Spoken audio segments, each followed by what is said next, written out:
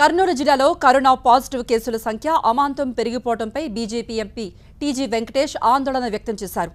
Virus లక్షణాలు కనిపించిన తక్షణమే టెస్టులు చేయించుకోవాలని కోరారు టీజీ వెంకటేష్. కరోనా లక్షణాలు ఉండి ఇతరులకు వ్యాపింపజేయడం కంటే ద్రోహం మరొకటి ఉండదు అంటున్న ఎంపీ టీజీ వెంకటేష్తో మా ప్రతినిధి నాగిరెడ్డి ఫేస్ టు ఫేస్ ఇప్పుడు చూద్దాం. ఉన్నట్లుండి కర్నూలు జిల్లాలో కరోనా పాజిటివ్ కేసుల సంఖ్య పెరిగిపోవడంతో ఒక్కసారిగా ఆందోళన నెలకొంది. దీనిపై మాట్లాడేందుకు కర్నూలుకే చెందిన రాజ్యసభ సభ్యుడు టీజీ వెంకటేష్ ఉన్నారు. చెప్పండి ఎంపీ గారు ఏమి ఏ విధంగా అర్థం చేసుకోవచ్చు? ఒక్కసారిగా ఇంత కేసులు పెరిగిపోవడం ఈ వ్యాధి మా కర్నూలు జిల్లాలో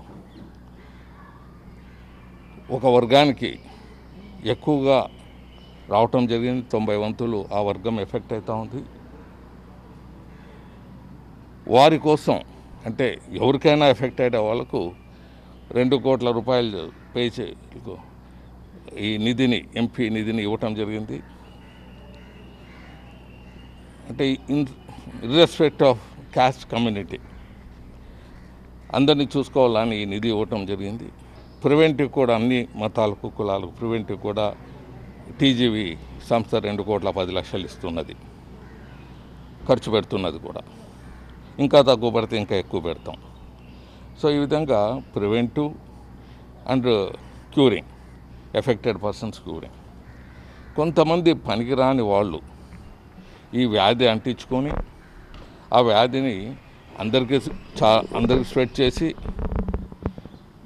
వాళ్ళు చనిపోయే విధంగా ఉండాలని సోషల్ మీడియాలో పెడుతున్నారు. అలాంటి వారు తప్పకుండా ప్రభుత్వం చర్యలు తీసుకోవాలా? ఎవరికి చంపే హక్కు ఈ దేశంలో లేదు. చంపుతాననే వాని మీద యాక్షన్ ఉంటుంది. చంపిన వాడిని ఉరికంబాన్ని కూడా ఎక్కించిన దేశం ఇది. సో దీంట్లో ఇంకా ఏమైనా రూల్స్ మార్పులు ఉంటే రూల్స్ కూడా మార్చి చేయాల్సి వస్తుంది. మీరు రెండు పాయింట్ ఒక కోట్లు మీరు విరాళంగా ఇచ్చారు. ముఖ్యమంత్రుల సమావేశంలో ప్రధానమంత్రి కూడా జగన్ విజ్ఞప్తి చేశారు. కరోనా నుంచి రాష్ట్రాన్ని కాపాడండి ఆదుకోండి అని చెప్పి. మీ మీ పార్టీ తరఫున ఏమన్నా ఆదుకునే అవకాశం ఉందా? యా బీజేపీ పార్టీ తరఫున కూడా డబ్బులు కలెక్ట్ చేస్తున్నాం పంపుతున్నాం. దాని ప్ర- దాని దానిలో భాగంగా కూడా అందరూ వెళ్తున్నాం. దాంట్లో నేను కూడా భాగస్థుడు అవుతున్నాను ఇప్పుడు జరుగుతున్న సహాయక చర్యల పట్ల మీ కామెంట్? అంటే మొట్టమొదట మనం అందరూ చప్పట్లతో ధన్యవాదాలు తెలియచేయమన్నారు ప్రధానమంత్రి గారు. ఆ సందేశం మరోరాని సందేశం.